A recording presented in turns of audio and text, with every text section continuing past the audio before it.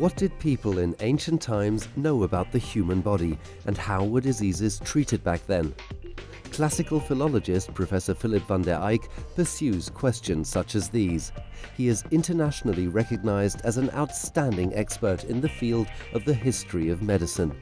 Medizingeschichte zeigt, wie der Mensch sich mit Krankheit, mit Schmerz, mit Tod, aber auch mit Lebensqualität, mit Gesundheit, mit diesen fundamentalen Gegebenheiten des menschlichen Daseins auseinandersetzt. In dieser Weise bietet die Medizingeschichte Einblick in die grundlegenden Werte des menschlichen Daseins und bekommt man also auch sehr viel zu wissen über die Kultur, die Gesellschaft.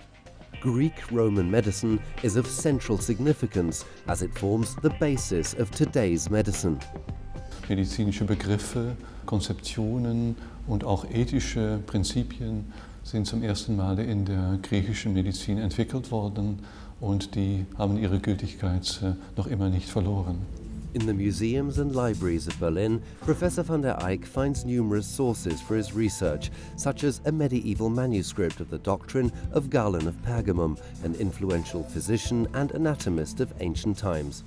Professor van der Eyck combines classical studies, the history of medicine, and their contextualization in his research.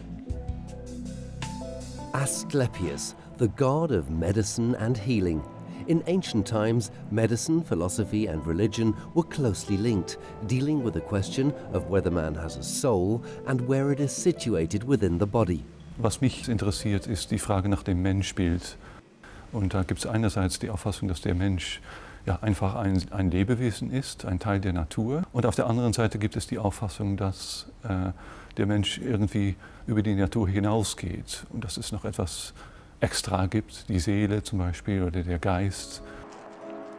In cooperation with other Berlin-based research institutes and disciplines, Professor van der Eyck now continues his research at the Humboldt University, Berlin.